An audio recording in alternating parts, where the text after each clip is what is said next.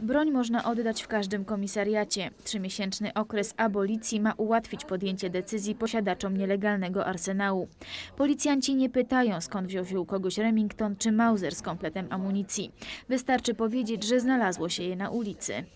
To jest e, stworzenie szansy dla ludzi, którzy weszli w nielegalne posiadanie broni, do rozliczenia się z niej bez żadnych sankcji karnych. W depozycie Wrocławskiej Komendy Wojewódzkiej Policji leży około 2000 sztuk broni. Część została odebrana przestępcom, część oddali legalni właściciele, którym wygasło zezwolenie. O wydanie nowego zezwolenia na posiadanie broni stara się coraz więcej osób. Od początku roku ponad 5 tysięcy. Najtrudniej uzyskać zezwolenie na broń krótką, pistolet lub rewolwer.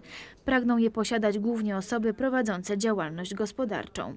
Nie może to być jakaś przypadkowa osoba, która chce, ja chcę mieć pozwolenie na broń, bo ja będę sobie konwojować y, sama y, mm, pieniądze.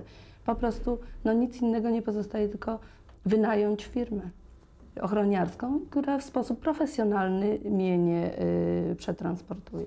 Na terenie województwa dolnośląskiego działa 20 sklepów legalnie sprzedających broń. Nielegalna broń trafia do nas zarówno z wschodniej, jak i z zachodniej granicy.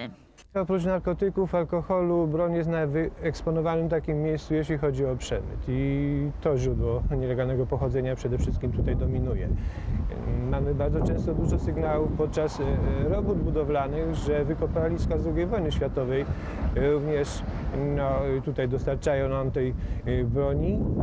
Jak i trzecim takim źródłem to jest kradzież, oprócz tego no, produkcja własna, oparta przede wszystkim na częściach oryginalnych. Po 3 października nie będzie już można liczyć na wyrozumiałość policjantów. Ten, przy kim zostanie znaleziona nielegalna broń, ryzykuje karę, nawet do 10 lat więzienia.